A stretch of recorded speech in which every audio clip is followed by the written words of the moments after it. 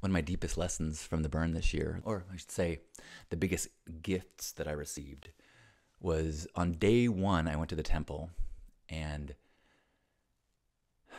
I have fallen into some negativity of worldview lately where I look at the state of our environmental struggles as a as a planet and I go, man, human beings suck. Human beings are a blight on this planet. This planet would be better off without us. Humans suck. And then as I went through the temple and I see these photographs of people and these messages of people's memories of people of, of loved ones, and I see these collages of, of human lives on a mountaintop on a wedding day, holding a baby on a dance floor, these like these beautiful highlights of a human life. And I just had this like, oh wow. Human beings, the expression of a human love, heart, and creativity, that is the most beautiful thing that's also that's happening on this planet. So the, the, these blossoms of life that we are, these expressions of divine creativity and love.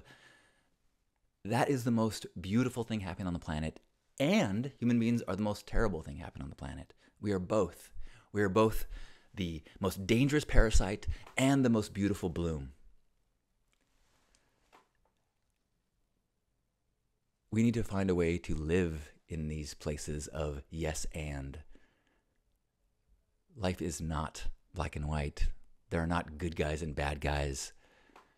And as we, I think, can embrace the complexity, as we can embrace that is about grief and joy, and the more we can hold these things at once, the more we can really celebrate the human experience and maybe work on the ways that we are being detrimental to the planet without losing faith, without losing hope.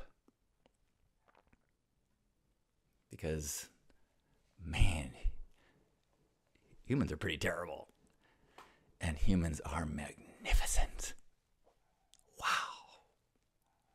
So thank you, Burning Man, for showing me and reminding me in the temple. And then as I walk around the city, just going, yes, this is what humans are possible. Yes, this is what people can do. Yes, yes.